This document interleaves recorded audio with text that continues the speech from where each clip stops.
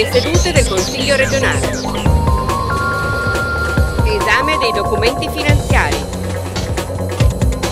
Seduta straordinaria sul trasporto pubblico locale. Sette giorni in consiglio. La seduta del 1 agosto è stata aperta dalla votazione unanime di un ordine del giorno sui danni che il maltempo ha causato nel sud del Piemonte, in particolare nell'Astigiano e nella Valle Bormida. Il Consiglio regionale ha poi iniziato l'esame dell'assestamento di bilancio e del collegato alla manovra finanziaria.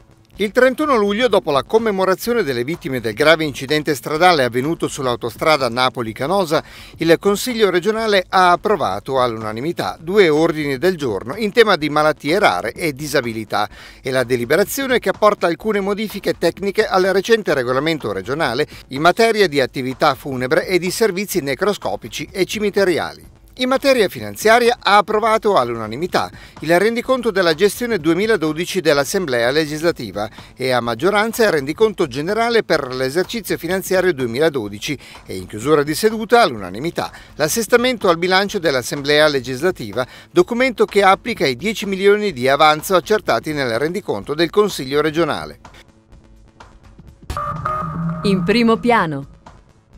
Nelle ultime sedute, prima della pausa estiva, il Consiglio regionale ha esaminato e approvato il pacchetto dei provvedimenti finanziari, rendiconto e assestamento della Regione e dell'Assemblea legislativa e le disposizioni collegate alla manovra finanziaria.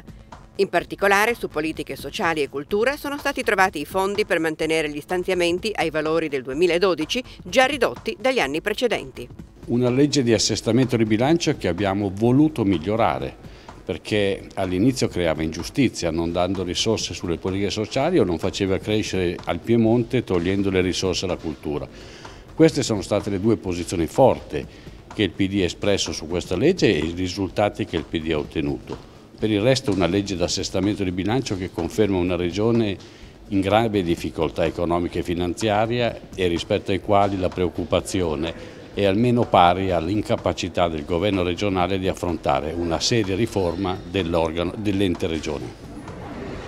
Il Consiglio regionale e la Giunta regionale sono riusciti a mettere sotto controllo i conti della Regione Piemonte che nella passata legislatura avevano avuto una dilatazione fortissima come debiti. È stata una manovra impegnativa, adesso abbiamo un quadro certo della situazione e soprattutto si è riusciti ad evitare il commissariamento della sanità, sono arrivate tra l'altro risorse aggiuntive per cui riusciremo nei prossimi mesi a pagare i fornitori delle ASL e quindi pur con grande fatica stiamo cercando di ritornare in una situazione di normalità.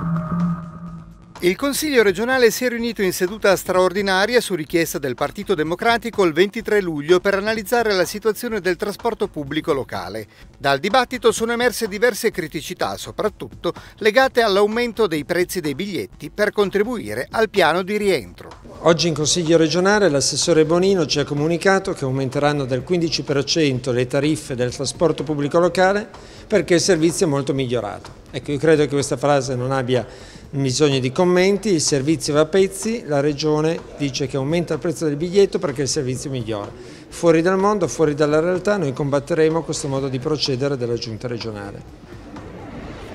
Abbiamo messo in evidenza i fatti da parte dell'assessore ai trasporti Barbara Bonino, da parte della sua maggioranza che la sostiene.